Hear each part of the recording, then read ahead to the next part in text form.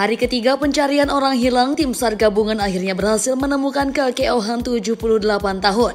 Warga Dusun Mekarjaya RT 6 RW 1 Desa Cigayam, Kecamatan Banjar Anyar, Kabupaten Ciamis, Jawa Barat, yang dikabarkan hilang sejak Minggu 4 Juni 2023. Tim pencarian berhasil menemukan Ohan di lokasi Gunung Geger Bentang, tepatnya di wilayah Cikemuning dalam kondisi lemas. Evakuasi pun berlangsung dramatis mengingat lokasi ditemukannya kakek Ohan berada di tengah hutan. Tim gabungan pun terpaksa harus menandu sang kakek sejauh 3 km untuk dilanjutkan menggunakan ambulans menuju puskesmas Cigayam. Dan tim Basarnas Tasikmalaya Roni Rohani Effendi mengatakan kakek Ohan berhasil ditemukan setelah hilang tiga hari oleh tim gabungan dalam kondisi selamat.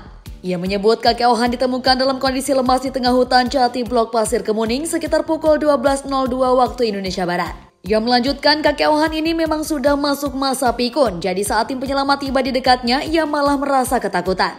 Dengan ditemukannya kakek Ohan, tim gabungan pencarian orang hilang pun dibubarkan, dipimpin langsung oleh Kapolsek Banjarsari AKP Dian Rosdiana. Sementara itu kakek Ohan untuk sementara waktu dirawat di IGD Puskesmas Cigayam Ciamis untuk mendapatkan pertolongan medis. Kepala Desa Cigayam Dodi Haryana mengungkapkan kebahagiaan atas ditemukannya warga yang hilang tersebut. Ia mengatakan atas nama pemerintah desa Cigayam bersama keluarga, pihaknya mengucapkan terima kasih kepada seluruh jajaran tim pencarian mulai dari Basarnas Tasikmalaya, BPBD, Polisi, TNI, PMI, Tagana, Relawan Ciamis Selatan, serta seluruh masyarakat yang telah membantu untuk mencari kakek Ohan. Suherman Harapan Rakyat Ciamis